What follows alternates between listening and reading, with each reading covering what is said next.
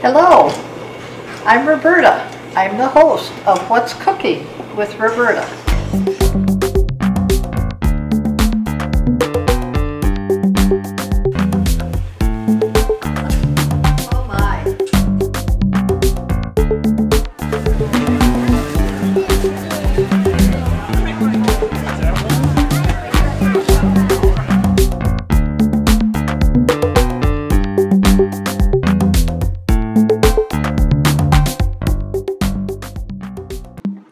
We're going to cook fancy potatoes. It's a family favorite.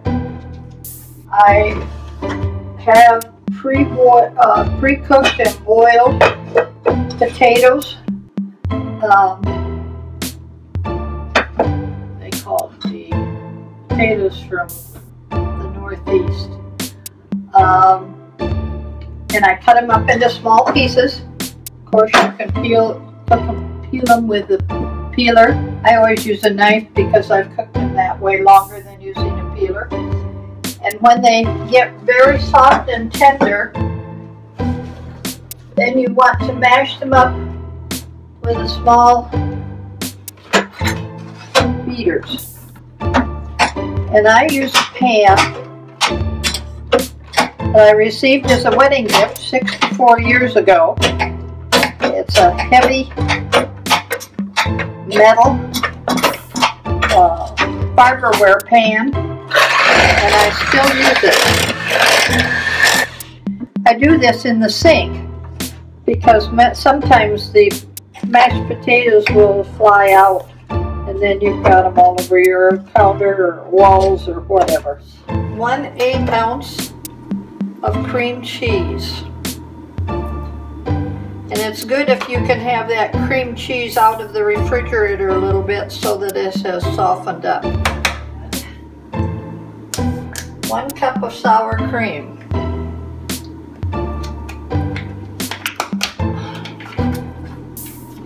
And I like Daisy sour cream because it's more creamy, softer than the sour cream that I generally buy from my local grocery store of their brand.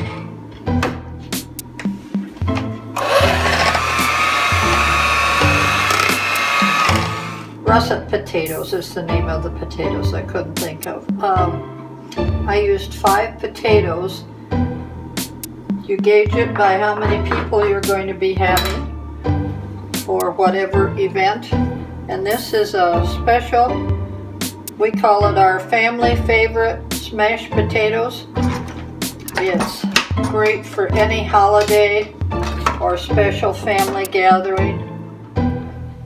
After I got everything all mashed up, then you add uh, garlic salt and I just shake in a bunch and there again it depends upon how many potatoes you use depending upon how many people are going to be at your event and also uh, then put that into a casserole bowl not greased and I use a spatula to get it all out of the pan and then you put dots of butter around on top of the potatoes and sprinkle paprika on top. Now this paprika especially from Hungary. My daughter and her husband were teaching school over there. So this is an extra kind of paprika and it's a little more potent than the kinds you buy at the grocery store, but it's any paprika will work good. So this goes into the oven for 300 at 350 degrees for 30 to 40 minutes.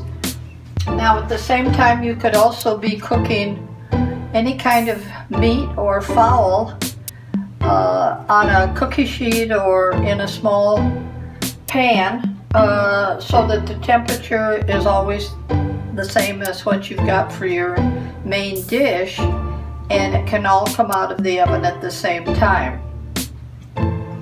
So I'm going to put this in the oven now Okay, the buzzer is going off. So that means that the potatoes are done. Ooh, they look good. I can get over there.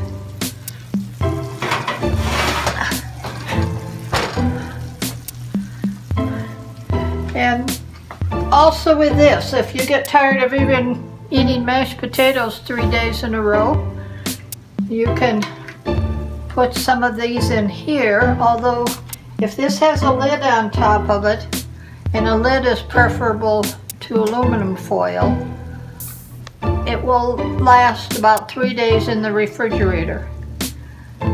Then you could put this in here and it would be good for about six more months in the freezer.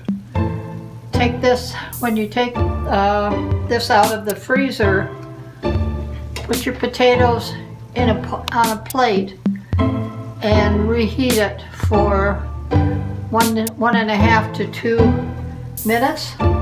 And if you'd like to add a little more butter on top at that time, that's okay too.